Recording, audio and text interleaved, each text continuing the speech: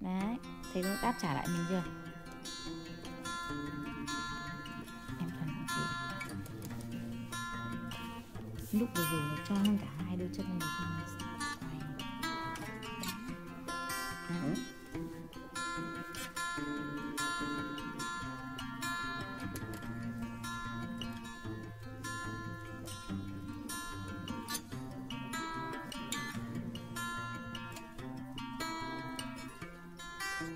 Đấy.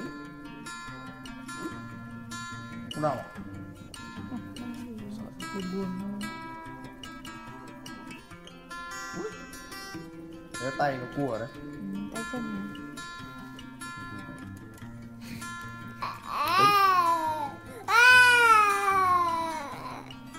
vừa nó lệch hết Mặt xấu này. này Thằng mặt xấu đang đòi điện thoại này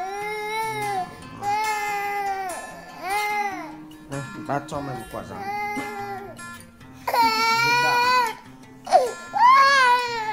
Thôi. Cảnh cáo. Cảnh cáo lần thứ nhất.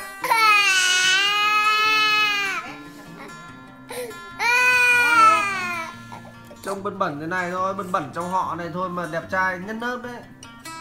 Đến lớp toàn quả nhìn ghê thật họ lên họ nhìn thấy con mình họ lại bảo con họ đẹp Ôi trai nhất lớp tôi tôi cái gì tôi rất công bằng không bao giờ là làm theo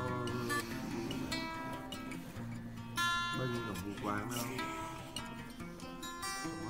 Đặt đi, đặt, đặt. không ai yêu những đứa trẻ con như thế